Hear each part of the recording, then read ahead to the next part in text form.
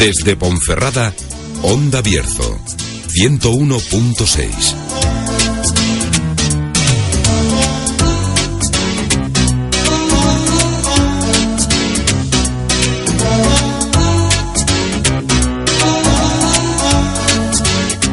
Bueno, pues muy, fíjate Silvia, que espléndida que nos ha dejado más sintonía y todo. Gracias, porque es la sintonía de Veda, claro, quiere decir que vamos a hablar de Veda eh, y tenemos con nosotros a la psicóloga de, Bea, de Veda, eh, que es María Bretaña, pero además viene muy bien acompañada, viene acompañada, buenos días María. Buenos días, Yolanda. Viene acompañada de Izaskun de la Fuente, que es una alumna de psicología y está haciendo las prácticas, eh, porque creo que le queda un curso de, para, para tener ya el título de, de psicóloga. Eh, las está haciendo en Veda, como también Jorge Álvarez Coque, que es más conocido por Coque, que también está haciendo sus prácticas en Veda de, de educador social. Buenos días, Izaskun. Buenos días. Buenos días, eh, Coque. Buenos días. o sea que es Jorge, pero te conocen mm, por, por Coque. Sí. Pues por eso, ahora si te digo Jorge, pues no se enteran de que, de que eres tú. No, sí. Sí.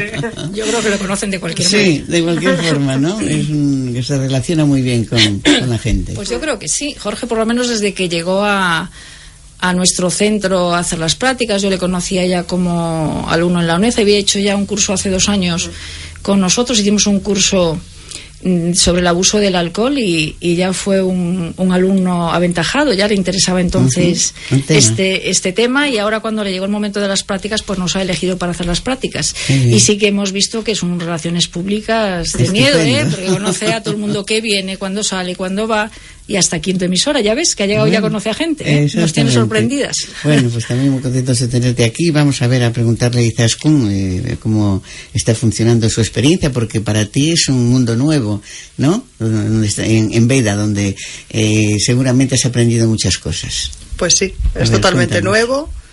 Mm, He aprendido mucho eh, con ellas, con las psicólogas y con los pacientes también. Ha sido muy interesante. Bueno, me quedan unos días de prácticas todavía, pero bueno, lo que he vivido muy interesante. Y sí, he aprendido mucho. Bueno, eh, tú tenías una idea distinta, por ejemplo, al mundo de, de- de los enfermos alcohólicos, o, o- o, eh, y ahora has descubierto cosas que, bueno, como digo, te, han- te van a servir para, para, eh, para cuando termines la carrera y hagas tu trabajo como psicóloga, pero tenías un- un- una idea distinta de cómo funcionaba esto. Sí, en muchas cosas sí, en algunas no. En otras, bueno, los veía como, no sé, como si solo tuvieran una patología, el alcohol, y me ha sorprendido que tengan tantas patologías asociadas. Claro. También que son personas a simple vista muy normales, eh, que tienen una vida normal. No todos, pero bueno, casi Sí, todos. sí, sí. Eso es lo que más me ha sorprendido, sí. Ya. Y te sorprendería también el- la ayuda que están y el apoyo que están recibiendo claro. en Y lo mucho que se Veda, ¿no? preocupan. Claro, claro. Muchísimo. Me Ajá. ha dejado muy sorprendida eso, que Sí. les llaman continuamente, te, te tomas la medicación, mm, qué tal estás, qué tal tu familia, y eso me ha sorprendido mucho, que verlos tan implicados, sí, sí. Te podemos decir que es una atención personalizada, ¿no? Sí, sí, constante, personalizada. no es un número, es No, no, no, conocen no. nombres, apellidos, No, y allí se conoce todo el mundo, te- por el nombre, todo el mundo sabe quién es quién, eh, o sea, sí, sí, impresionante, de verdad. Ya. Vuestro trabajo de psicólogos tiene mucha mucha importancia, ¿no? En la problemática de, de estas personas. Pues sí, sobre todo la terapia que se hace allí, de grupo, que todos estén juntos, unos apoyan a otros, eso es muy importante. ¿Cuánto tiempo llevas? Yo allí en Veda, Sí. dos, va a hacer dos meses. Dos meses. ¿Y te falta un curso para terminar? No, un curso no, me queda esta asignatura y otra. Ah, o sea que bueno. Sí, ya acabo, espero acabar ahora, en Sí, junio. hombre, claro. Tienes que hacer todo Sí, lo sí, sí, hombre, mi intención es esa, sí. claro, lógicamente. Eh, ¿Y por qué elegiste la psicología, Izaskun? Pues porque me gusta. Sí. Me gusta atender a la gente, escucharla, estar cerca de ella, por eso.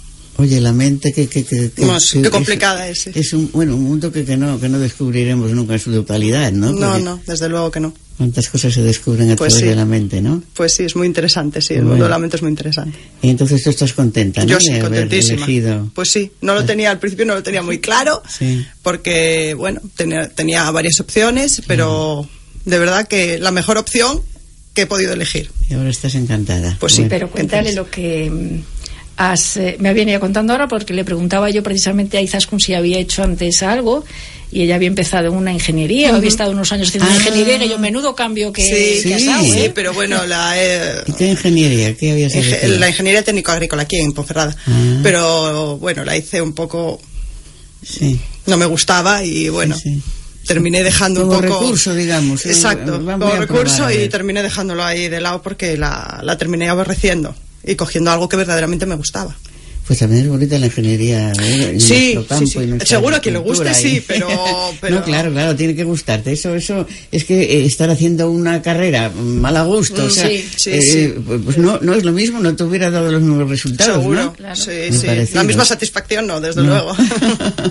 bueno, pues estupendo, te damos la enhorabuena y Gracias. seguro que va a salir esa asignatura en junio. Seguro que sí. En el caso de, de Coque, que como educador social, oye, has elegido, además que como te gusta comunicarte con la gente y tal, has elegido un- un- una buena eh, carrera, ¿no? Sí. ¿Por qué fue? A ver. Yo, bueno, no estaba del todo claro antes de empezar, porque yo quería hacer derecho, cuando hice la prueba de acceso, pero al final hice animación bueno, hice monitor libre, moni- me metí en animación sociocultural y, y eso que me gustó, vi que, eh, que lo mío era ayudar a los demás, estar eh, con la educación, ayudarles, y entonces por eso dije, lo mío es educador social, porque es lo que te llena, lo que te llena de ver, poder trabajar en una ONG, poder ayudar a los demás, por ejemplo Caritas que hace buena labor, por ejemplo Veda que te hace buena labor, eh, ir- irme de misionero fuera, ayudar a los demás, Qué bonito. Qué bonito. Bueno, pues tienes ahí, tu objetivo es amplio y, a- y ambicioso, seguro que lo vas a conseguir también. Porque ¿cómo ha sido y cómo está siendo tu experiencia, como les decía quizás con Pues mi, Enveda? mi experiencia, ya cuando empecé, hace seis meses, yo- yo estuve seis meses porque hice las prácticas 3 y 4, que es en un cómputo. Pues cuando empecé aquí no había educadores sociales, entonces iba a costar más. Tuve que pelearme con OCE Madrid para que me las dejasen hacer. Y al final lo conseguí, las pude hacer. Y claro, a no haber educador social, pues ellos no sabían exactamente los objetivos, lo que hace un educador social. Pero bueno, eh, con esfuerzo y preparando un buen proyecto que preparé sobre, sobre el ocio, para buscar un ocio saludable, con actividades y eso, pues se gustó, le gustó mi proyecto y lo hemos llevado a cabo. Bueno, dice, no saber lo que eh, era un educador social. Hay muchos de nuestros oyentes que tampoco lo sepan. ¿Qué hace una educación? Un educador social es el que, el que está como de apoyo a, a la educación, como, como, eh, a educación que te, en que te asesora, no asesora, pero el que está más directo. Es como un trabajador social está más como en una oficina, nosotros estamos más con el paciente, más, Más directamente. más directamente con ellos, En la calle. más en la calle. En la calle. Y Bueno, más, eh, más también con la prevención. ya. ¿Y cómo te llevas tú con la gente de Veda, con las chicas y chicos, señoras y señores de, Muy de bien. Veda? Bueno, chicos, no, no, Escasean los chicos. pero muy bien. Sí. Hay muy buen equipo, muy bueno y muy bien. Por eso, claro, por eso tiene tan, tan buen éxito y todo. Claro. ¿Y a ti qué te parece la labor de Veda? Que es una labor muy buena. Nunca, no había visto el, pro- el problema así nunca tan de cerca, ni sabía que había problemas así, que podía pasar de todo, pero he visto que sí es un problema muy gordo, que hay que ayudarles, pero también cuando a una persona te ratifica. Lleva así sustos, pues a veces, Y satisfacciones. caídas, pero otras veces muy buenas satisfacciones. Claro, bueno, cuando hay una recaída, lógicamente, o cuando hay alguien que, que deja el programa, pero qué, qué satisfacción más grande cuando hay Sí. cuando hay un, un- un- un- una persona que ha terminado, No, el- que ha, terminado, que ha terminado con éxito. ha tenido esa constancia, esa perseverancia y ha conseguido, pues, pues eso, Sí. eh, curarse, porque esa sería la palabra, que ¿no? se cura, que, que encima que está usando por encontrar trabajo y todo, que eso es mucho. Ya. Eso, En Veda, cuando hay un alta, se celebra por todo lo alto sí, también. por pasteles y todo, sí. bueno, entonces tú estás contento de haber Sí. estado, en- de seguir en Veda, porque ¿cuánto tiempo te queda? Eh, ya me queda, ya acabo esta semana. Ya, uy, y después Ya lo vas, a, acabo, est- pero lo vas a extrañar. estuve- no, sí, estuve seis meses y seis meses de maravilla. Ya. Pero vas a seguir en contacto con ellos. Sí, sí, sí, yo iré haciendo cuando pueda, pues iré haciendo talleres y todo. Claro. Eso sería co- ahora sería voluntario. Ya no Exacto. sería como alumno. Eso te iba a decir Porque que porque el voluntariado es muy importante. Sí. Yo estuve también de voluntariado, sí, porque yo estuve en eso voluntariado. Me fui en el verano, me fui a Budapest, a Hungría, dos meses de voluntariado con Erasmus Plus. Eh, eso bastante voluntariado, eso anudario, iban unos viernes cuando podía y el voluntariado es importante. Ujú. Por eso aconsejo a todos los jóvenes menores de 30 años que hagan voluntariado. Exactamente, chicas y chicos, que hace mucha falta, ¿verdad, María? Sí. Como ves, está muy implicado en todos No, sitios, no, ¿eh? bueno, bueno, Jorge, tremendo, Por eso sí. conoce a tanta gente. ¿eh? Claro. Pues yo tengo, efectivamente, hace mucha falta y yo tengo que decir que mm, ha sido una experiencia muy gratificante. ¿eh? bueno. Como sabes, nosotros tenemos un, un convenio con la UNED desde hace ya muchos años. Lo iba a mirar ahora y se me ha olvidado porque ya hace muchos años que tenemos un convenio para hacer las prácticas de alumnos de psicología, de trabajo, trabajo social y educación social. Bueno, no, no todos los años viene gente, porque esto, como te ha dicho Izaskun, ellos tienen unos proyectos, unos centros, aquí en León y en más sitios, y pueden seleccionar. Y si hemos tenido alumnos a lo largo de este tiempo, pero no todos los años. Eh, nosotros sabemos que este es un tema que, mm, en principio, un alumno de psicología normalmente se va más a, directo a, a- los temas muy clínicos, más de eh, una depresión, un problema psicótico, y las adicciones suelen ser temas que se suelen rechazar bastante desde distintos profesionales. La razón suele ser que mm, los alumnos piensan, y muchos profesionales también, que las adicciones es algo crónico, que no hay mucho que hacer, que es muy duro, por lo que decía ahora Coque, que la gente recae mucho, que tienes que trabajar mucho tiempo con ellos. Y bueno, por, por alguna de esa razón le tienen más miedo. Luego cuando te metes en ella, pues descubren lo que ha descubierto Izaskun y lo que ha descubierto Monse, que este año, el año pasado no hemos tenido a nadie, pero este año van tres, porque hemos tenido otra alumna, Monse, que ha estado también con nosotros hasta diciembre. Y, y se llevan una gran sorpresa porque a nivel psicológico, por ejemplo, es una experiencia muy gratificante en el sentido de que donde ves una persona con problemas de una adicción al alcohol, no estás viendo solo esa adicción. Es que se sorprenden. Recuerdo que quizás cuando vino el primer día yo le hablaba también de personas que vienen de la cárcel, que tienen problemas sociales o personas psicóticas. Decían, ah, pero hay todo eso aquí. Pues sí, quiero decir, esto es una cantera a nivel Sí, sí, sí. psicológico porque mm, tú puedes ver mm, un montón de, de patologías.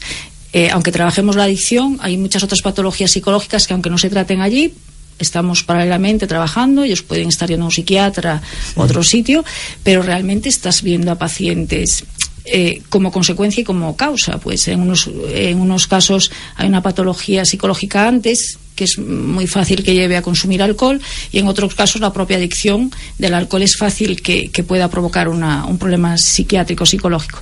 Y en ese sentido es, eh, digamos, una experiencia eh, amplia para, para los pacientes. Y en el caso de la educación social, no es el primero. Ya hemos tenido hace unos años dos chicas que venían de educación social. Y aunque nosotros directamente, es verdad que en el centro tal y como está, no es un trabajo, digamos, lo hace más el trabajador social, no tenemos un educador social que trabajan más a nivel de calle y de grupos eh, sociales, pero es verdad que como grupo, como personas con problemas de alcohol, es un grupo en el que ellos pueden, con el que pueden practicar, con unas necesidades especiales, sobre todo en el ámbito más social, más en el ámbito de la rehabilitación a nivel eh, de la parte social, ¿no? Y aunque no tenemos ninguno, pues entre todos hemos ido eh, situando a Coque en esa actividad más social y, y, ha hecho una labor extraordinaria y ha hecho, bueno, ya llegó y nos hizo unos vídeos para llevar la presentación del Centro a Camponara, ya ha trabajado directamente con uno, un paciente que hemos tenido que era experto en temas de cine y demás. Allí se ha hecho con él un otro vídeo donde hizo de actor y todo de un paciente alcohólico. Bueno, con una marcha que nos deja que, que no podemos seguir, ¿eh? Y de alguna manera, pues ya se ha implicado mucho. Pues fíjate, tanto en tareas de tipo individual, eh, pues con temas de personas que están con la búsqueda de trabajo, él se ha implicado con los ayuntamientos, ayudando a la búsqueda del trabajo, y también con temas más de, de la parte ocio. Ahora mismo está proponiendo, aunque no, no hay mucho éxito, no por lo de él, un, por un tema de taller de ajedrez, eh, que él, él, domina ahí también, que a nosotros es muy interesante a nivel cognitivo para el trabajo de los pacientes. Sí, claro Lo que ocurre es que a nuestros pacientes mmm, están en esa fase que, que, solo los que están ya llevan tiempo mmm, se implican un poco porque si no les cuesta mucho. Ahora mismo mm. su prioridad es mmm, solucionar el tema, salir del tema, a veces no tienen tiempo, vienen de fuera. Pero todo lo que hemos intentado hacer, a veces eh, Jorge se frustraba porque, porque venían pocos, digo, es, es lo normal, la gente eh, viene ya la al tratamiento y luego pues cuesta dedicar claro. alguna hora más pero sí que ha, ha, ha, habido muchas aportaciones interesantes también, un poco entre todos, y a ese nivel también, bueno, también del ocio con los pacientes. Ayuda, lógicamente, sí, sí, sí, donde él ha podido practicar y conocer claro. el tema, ¿eh? Uh -huh. Porque se ha disgustado mucho. No sé si Zaskun lo, lo, veías también, ¿no? Como se disgusta cuando alguien tiene una recaída. Sí, claro, mm. claro. Él decía, este tres meses bien, este ya mm. fenomenal, va. Yo, mm, no ten cuidado, historia, vamos. No cantes historia todavía. ¿Eh? Y te llevas una decepción sí. muy grande, lógicamente, más por la persona que por ti, porque dices, bueno, pero si es que viva tan bien, ¿y por qué abandona? ¿Por qué? Eso encima vamos. que tú los ves eh, que cambian, que cambian bien. Claro. Que los ves que cuando llevan ya dos, tres meses, que tú ves cuando empiezan y los ves, porque encima me ha costado, yo he visto que yo llevo seis meses, he visto gente eh, que empezó y que ahora llevan cinco o seis meses y, y es un cambio, son otras personas, pero que, que espero que, que se lo piense dos veces antes de volver a caer, que no, que no le caiga, yeah. porque ha cambiado.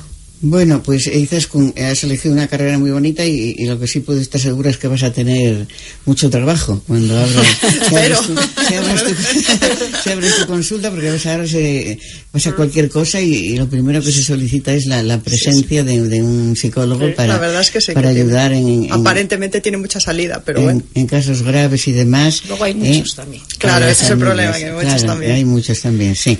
Bueno, pero mm, lo bonito es que tú has elegido una carrera que te gustaba y cuando hmm. se hace algo que, que, le gusta a uno, también todo es más fácil. ¿eh? Eso sí, eso es verdad. Entonces, fíjate lo, el martirio que es estar en un trabajo que no te gusta, ya, ¿no? Pues sí, sí Eso tiene que ser tremendo, mm, pues por lo menos sí. hacer algo que te gusta, te has esforzado por conseguir esa carrera, lo has, eh, lo has conseguido y, y entonces eh, después hay que, porque la, la, vida es así, una lucha continua, mm. hay que seguir luchando, ¿eh? Sois los críos y tenéis toda la vida por delante. Pues que tengas el mayor de los éxitos Muchas y que gracias. esta experiencia con Veda pues eh, te haya enriquecido. Sí, mucho. Como, como a ti, Coque. ¿Eh? También eso, eso, se nota que tienes entusiasmo. Adelante que no decaiga. Eh, María, ¿qué más eh, podemos añadir ya para terminar? Bueno, pues nada, recordar a la gente que bueno que hoy conocieron esta otra parte de nuestra actividad, como es tu programa, los alumnos que vienen a prácticas y luego la actividad que siempre decimos del día a día. Eh, y que recordar, ¿eh? hoy hay alumnos aprendiendo que en su día pueden dedicarse a eso también porque el, los problemas del alcohol tienen solución, que a veces es lo que, bueno, ya hemos hablado muchas veces, el problema de la vergüenza, del condicionamiento social, sí. pero también, aunque nos parezca increíble, sigue habiendo gente que piensa que para esto no existe tratamiento y no es necesario. y entonces, eh, efectivamente, que a veces la, la, las personas se esfuerzan eh, inútilmente, con muchísimo trabajo, sin ver resultados, intentando hacer algo que creen que, que, que, solo depende de ellos y que sepan que no. Este problema, como hemos dicho, tiene varias vertientes a nivel fisiológico, a nivel psicológico, a nivel social y eh, por eso la ayuda de profesionales, expertos en cada materia, va a ayudar muchísimo a que ellos puedan, puedan sobrellevar mucho mejor un tema que requiere un tratamiento, porque estamos hablando de una adicción y de una enfermedad, ¿eh? no, no tiene que sacarse a pulso, que, que eso no, no suele ser suficiente y suele ser eh, muy con pobres resultados. El próximo día, cuando tengamos el programa, precisamente, quería, quería comentar un hecho que estamos observando también, que a veces siempre hablamos del condicionamiento de la familia y cómo favorece que vayan, pero a veces también la familia quiere interrumpir rápidamente el tratamiento. En cuanto ven que dejan de beber, le pasa lo que le pasaba a Coque cuando llegó, que como ya llevan tres meses bien, ¿eh? y estamos viendo que también a veces los familiares creen que ya está hecho, dejar de ir, no. dejar de venir aquí, etcétera, etcétera. Así que eso es un tema que también creo que tendremos que tratar Exactamente, en, pues en, en el, el, próximo, próximo programa, programa, porque lógicamente es un programa, no es fácil, es duro, pero lógicamente después los resultados de la satisfacción supera todos las, sí. la, los esfuerzos y las dificultades, estaréis de acuerdo conmigo. Bueno, pues lo dicho, mucha suerte. Gracias. Eh, Gracias. Y, Coque, y María, pues nada, saludo a la familia de Veda. Muy bien, de tu parte. Muchas gracias. gracias. gracias.